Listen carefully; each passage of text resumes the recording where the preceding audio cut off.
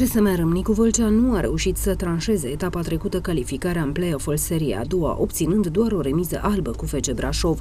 Sperând să-și spele păcatele și să-și ia revanșa, fotbaliștii din Zăvoi sunt încrezători că pot să câștige disputa de la Baia Mare. Dacă vor obține doar un punct, singura șansă a vâlcenilor de a nu pierde play-off-ul va fi ca FC Brașov să nu învingă Pâncota, iar Mioveni să nu se impună cu Reșița. Eu zic că trebuie să câștigăm neapărat acolo, că nu, nu ne putem baza pe alții.